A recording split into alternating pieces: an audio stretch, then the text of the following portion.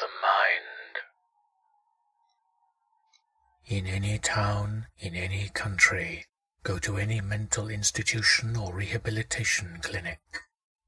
Approach the front desk and ask to see someone who calls themselves the holder of the mind. There will form a look of reluctance on the employee's face, which they will hold just long enough that it is barely visible. Then you will be led down a hallway ending at a flight of stairs. The attendant will leave you at this point. Ascend the stairs. They will go on for what seems like miles.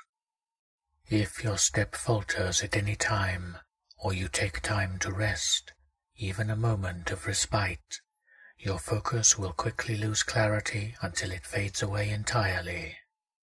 If your consciousness returns thereafter, you may find yourself at whatever place you call home, and the institution will have essentially vanished from existence.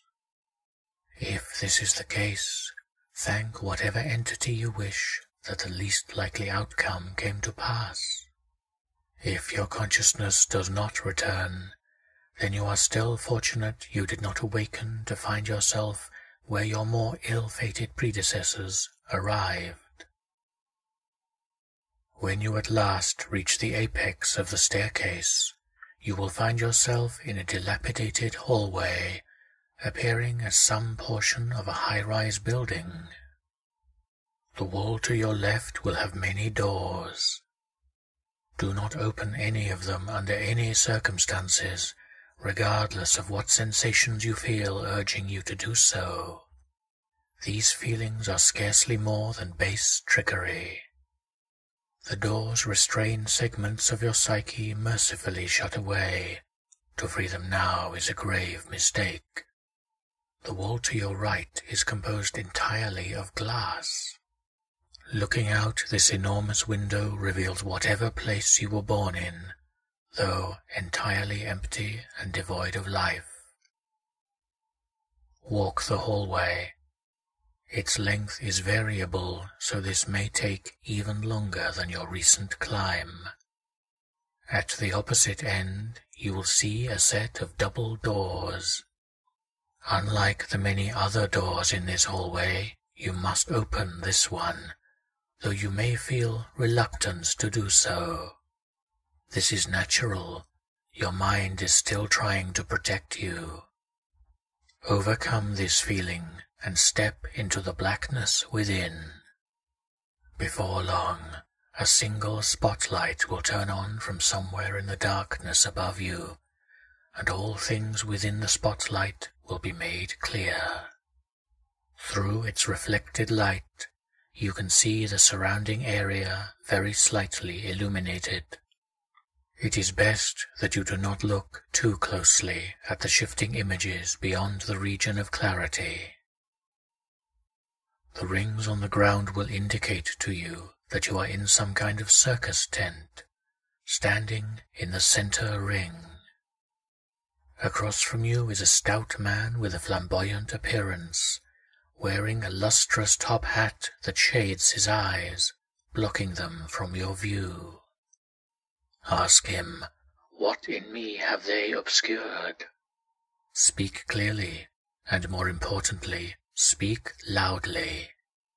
Speak as though you are addressing a crowd of thousands, or the ringmaster before you will have to remove you from the stage in a manner aimed to please the beings currently watching.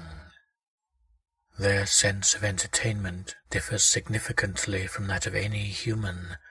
Hope that you do not find out how. If you appeased the ringmaster, he will crack his whip. The sound will seem impossibly loud and will be accompanied by a blinding flash of light. He will be gone, and in his place two other people will have appeared.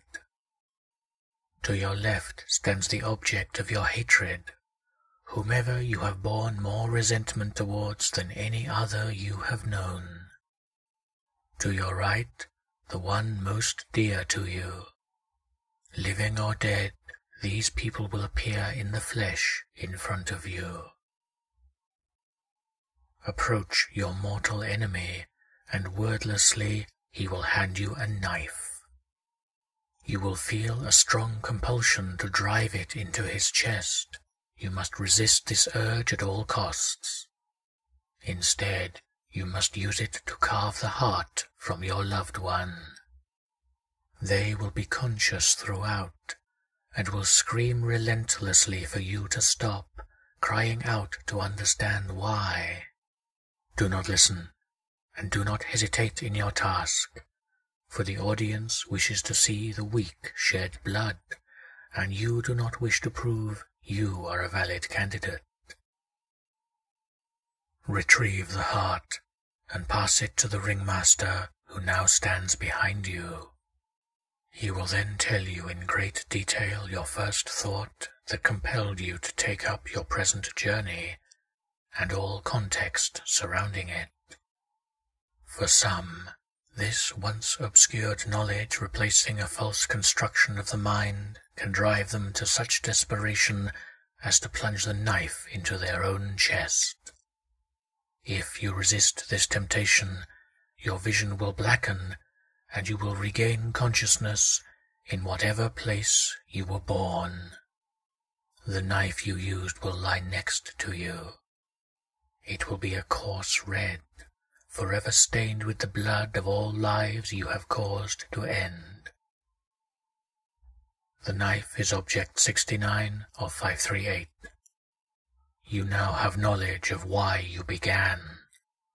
If they come together, you will be held responsible.